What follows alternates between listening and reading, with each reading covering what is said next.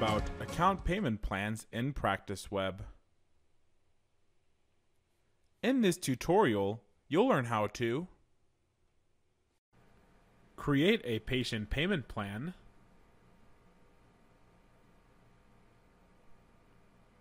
use the payment plan report,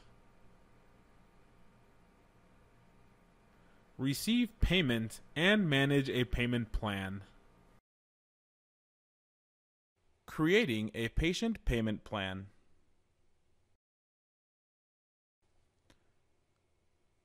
Payment plans can be set up in PracticeWeb to give you flexibility for those patients that need to pay a larger balance over a period of time. We do that in the account module, so I'm just going to scroll over to the account module and I'm going to show you how to create a plan for a patient that maybe had a bridge done, but the insurance didn't cover it. In this case, the patient will likely have a large expense to pay out of pocket, so this is a perfect opportunity to use a payment plan. Our patient here, John Doe, had a bridge done last month, and she owes a large chunk of money, so let's say that she had agreed to pay $500 down, and we're going to spread the rest into monthly payments. To start creating my plan, I can either just click on the payment plan button or I can click the drop down on the right and choose patient payment plan. In this window, we can set up all the details that we need for the plan starting on the upper left with the guarantor information. I've got my patient John Doe. In this example, my guarantor is also going to be John Doe. There may be some plans that you'll set up for a child, and they've got someone in the account that you want someone else to be the guarantor. That's not an issue since you can always set someone else up as the guarantor aside from the actual patient who had the treatment completed. In this case, the patient and the guarantor are going to be the same person. Just below that, we can assign a particular provider However, it's going to default to whoever the patient's primary provider is. Just below that, we've got the date of our agreement, and that's always going to populate with the current date. The total amount is automatically pulled from what they are owing on the patient account. I could change the amount if I wanted to, and then I'm going to go ahead and indicate when I want my actual first payment to be due. He's going to be making a down payment today and will not be due until next month. So I'm going to leave this as my next payment date. If I wanted it to be on the first of the month instead, I could always change it so my first payment is in June. First, she's going to want to pay $500 down so I'll enter that in here, and if we're charging her interest, we can enter her APR right in this area. However, for this example, we're going to be leaving this blank. Here, we can put in if there's going to be a certain number of payments. So maybe they're going to be making five payments, then the system will split up the remaining balance and the down payment. They can also pay a flat payment amount every month or every week. Whatever we want to set up, we can always choose that as well. Let's say she's going to pay $500 a month. On the right hand side, we see this button that has more options so we can customize how often she's going to be making these payments. So if it's going to be weekly, every other week, or we can change it to suit our needs. Make sure that the total treatment amount here on the bottom left matches the total amount of our loan that we are giving her. I can just manually type in that field, so to put information there, I need to click this bottom button that says View TX Credits, which just means View Treatment Credits.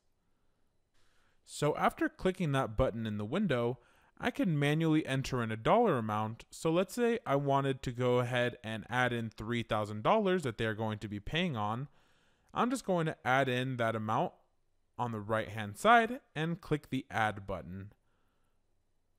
However, what if we want our payments entered to attach specifically to procedures that were already done? In that case, I can take that $3,000 out that we just highlighted and click the delete button. Now, go ahead and highlight those other three procedures that we wanted to be attached to. Those were the three procedures that were involved with the bridge, so we're going to go ahead and click add so now I can see here that my three procedures that have been completed that were associated with the bridge are now attached to my payment plan. I'll press the OK button to accept the changes and finalize all the data entries so that way we can make sure that they'll be making payments of $500 a month. At this point, I can choose to create a payment schedule here, so I'm going to click the create schedule button and this is going to list out for me all of my down payment and the rest that's going to be divided up into seven more payments. We can print this out for our patient if we want to give them a copy of exactly what we're expecting and what they've agreed to.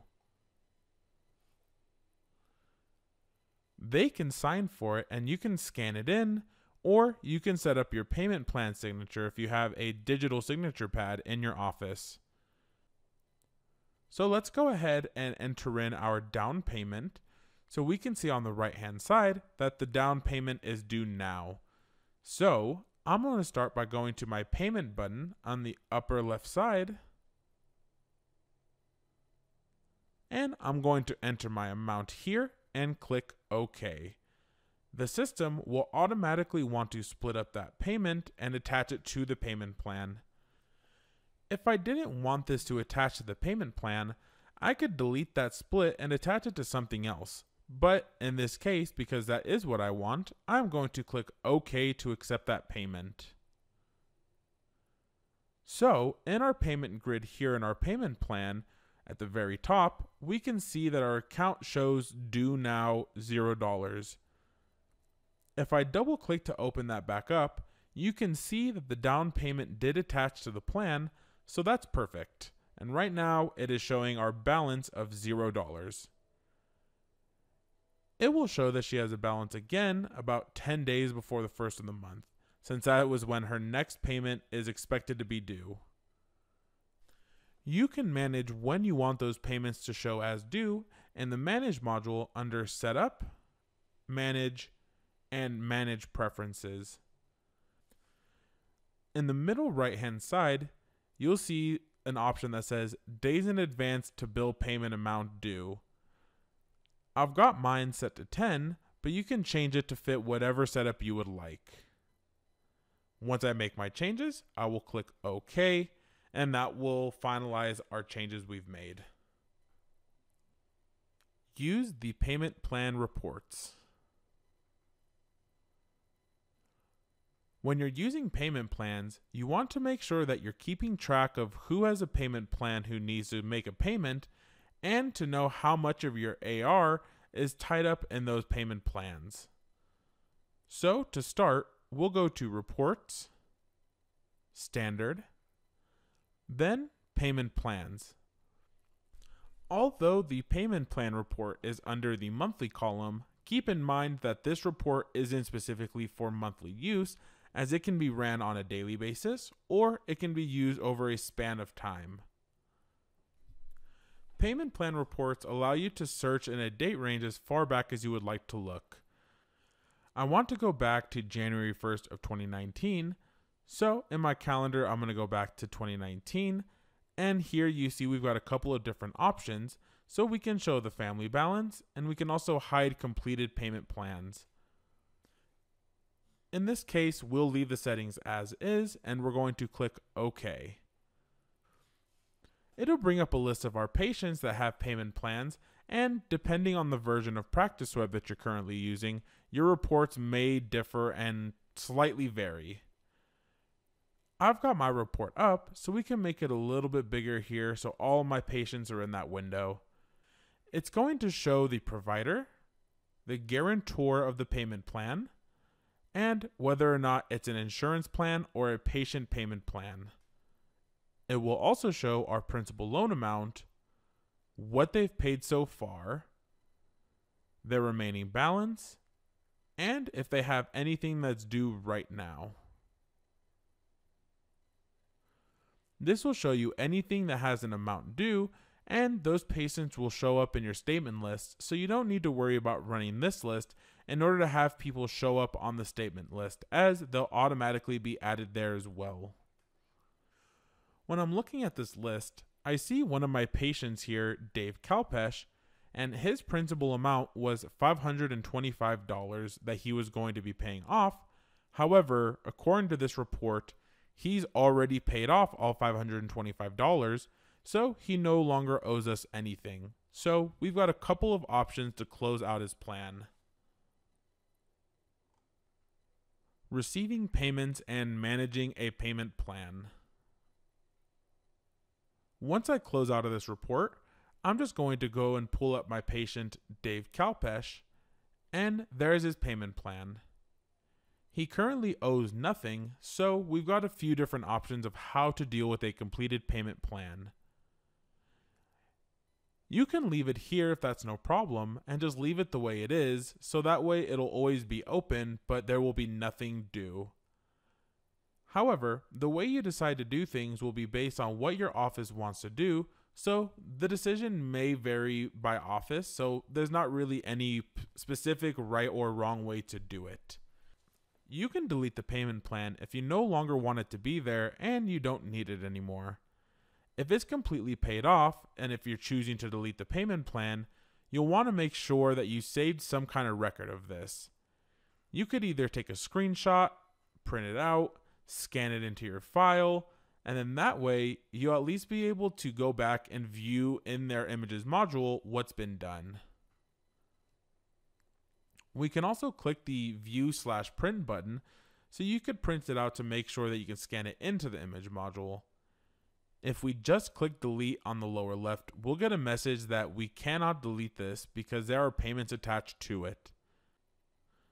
If we did want to delete the plan, you'd actually have to open up each individual split and there's going to be a checkbox at the bottom that says attach to payment plan. So you'll have to uncheck that box and click OK.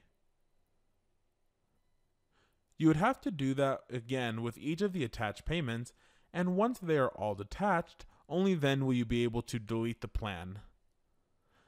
Again, I remind you it's always a good idea to keep a copy of your payment plan stored somewhere just in case you ever need to refer back to it.